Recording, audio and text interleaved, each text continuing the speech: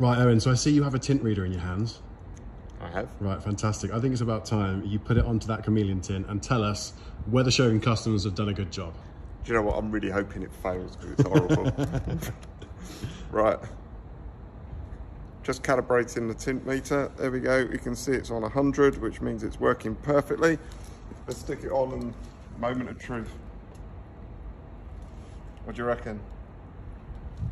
I can see 79 from here. I can see 79 from here. And that means... Well, well hold on. Let's just put it in, in another place. Right, checking another time, are we? 78, 79. 79. Yeah. That pretty much means that GCM's chameleon tint is road legal. It means I can't take it off, which is a real shame because I was looking forward to that.